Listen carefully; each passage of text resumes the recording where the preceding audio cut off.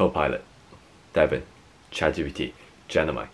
Wow, how has this generative AI changed my role as a software engineer? There has been so many new startups revolving around the generative AI hype train. And many products, tools are made available nowadays that improves engineering efficiencies. So as a software engineer myself, how have I noticed my day-to-day has changed since these new tools? At my company, I noticed the internal tools are getting better and smarter with generative AI integrations. Because many of the big companies, they don't want to use copilots, especially when it's owned by another big company, because you know they don't want to give free access to our code base. So they develop something internally for their own software engineers. And for me, I use the internal version of ChatGPT, Copilot, extensively. Like now, there are time periods where I feel like they should have always been there. Like I don't remember what it was like before they existed. For example, the VS Code integration, auto code completions, like they recommend, oh, I start typing. This is what you probably want to type. You can code complete. If I'm writing documentations, I comment above. They kind of know what I was doing, so they help me comment my code, write documentations and a lot of departments that focus on this internal tooling has become a top priority at my company. And the focusing on maybe even building a new product revolving around this is also the company priority. So i definitely notice a lot of people are trying to get into this organization because it's like the one that the company wants to focus on the most.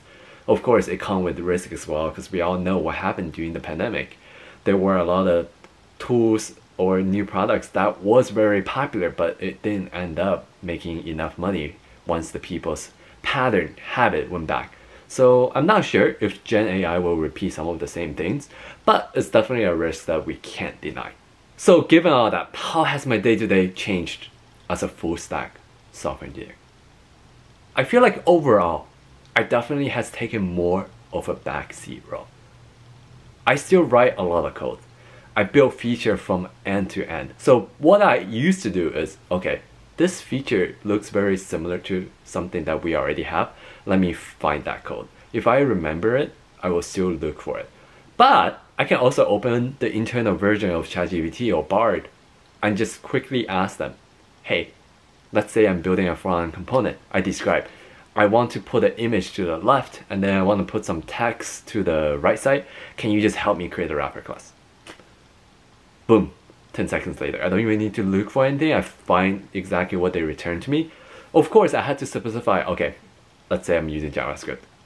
I'm using React. Please write it in that syntax. If I'm using React Native, please write it in that syntax. And then I copy and paste it. So I think this is the difference between a good software engineer versus someone who's just starting off. It's the fact that when I'm looking at their code, I'm just not I'm not blindly just copying and pasting it. I'm still looking to see if it makes sense. And based on the output, I'm like, oh, they did something wrong. It's probably because I didn't describe it well enough. So I say, thank you so much for doing this, but I also want to make the padding something. Can you also add me some styling? Let's say I'm also using some sort of use state hooks or whatsoever. Like I can customize it a little bit in the ChatGPT chat integration part. The goal for me here is to just get as much boilerplate out of the way as possible. And I can expand and grow the code afterwards. So this is typically what I do. I first copy the component at the output and then I try to hook it up to my existing system and see does it actually show up. And once it show up, I'm like, okay, let's focus on the API portion. Like how do I want to handle the backend side? And now a lot of times, many people aren't surprised. Like when you write a lot of APIs, microservices, or whatsoever, a lot of boilerplate. Back then, it's probably just like find something similar, copy and paste. We can do the same. Especially if they already know your internal code base so well, I can just be like, okay, I already have this. Can you reference it, but make it this? It's very easy, they make it for me, and then I just copy paste. And once I do that, I just need to modify and make sure everything looks correct. No syntactic errors, variable naming is good, and nothing like funky. And th that's pretty much playing the TL role every single time now. I'm watching someone else write me some code and then I'm trying to see if it's reasonable. And now it comes the very interesting part. Because it speed up my process so much, nowadays I focus more on UX and UI. How does this product feel? What can I do to make it more like you know make more sense if I'm a user facing product? Does the product make sense? If I have a button on the screen, where is the best location to do it? How do I want to handle it? There's a lot more designing and edge case thinking nowadays that's involved in this development process. Because maybe before your brain, you're more drained by the time you finish writing code. You're already really tired, so you're not really thinking as deep about some of these edge cases or scenarios that the user might do that it doesn't cover. So the question now becomes because you can generate these things so much faster and you might not have spent a lot of brain energy, now you can focus more on what improves the user experiences. And at least from a software engineering perspective, I have seen that's the shift that I am experiencing. And one thing that we all hate, maybe some people don't hate, it's like time consuming is writing tests. And a lot of times writing tests pretty much just protects, like especially for unit tests, it just makes sure the function you are creating is not doing something weird. It's doing exactly what you expect. And one thing I love the most about this GPT tool is the fact that I can copy and paste the function and say, hey, write me a Jest the front testing framework, let's say. Let, write me some Jest test code.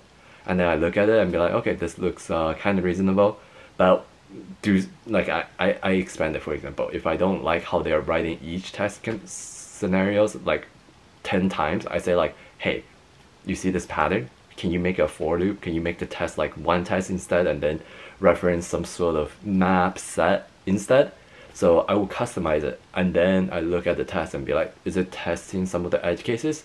It makes testing so much easier to write. Like it just makes this development process so much smoother. Like now I don't complain. I'm like, I remember before I'm like, okay, test is coming up in the next diff. Please don't block me on this. Like I'm gonna write the test next time but not right now. I want to get this feature to the finish line. Like I tested manually. We have a QA testing team.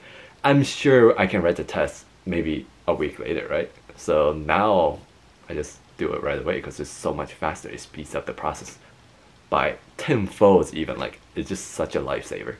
But given all of this, now the question becomes, do I feel future proofed? Because while it's fun, like I'm being very productive do I feel like I'm at risk? Like these AI tools are getting smarter that I soon don't need to do my job? I think nowadays it becomes a lot trickier. Like continuous learning is still very important. And I have taken more of an architectural design aspect, trying to design the best code. Because depending on how you structure your question, your prompt, the code that it returns can vary a lot and depending on how experienced you are, the quality bar may also be very different. Because based on my observations, sometimes the code is still not perfect. The pattern is not great, it's very like redundant, it writes a lot of stuff not very suitable for the current code base, for example. It's still lacking some of this, but it is getting a lot better every single time I use it. A month ago, like the code completion was like completely out, but now the code completion is pretty accurate. So I do see a fast growth in this field.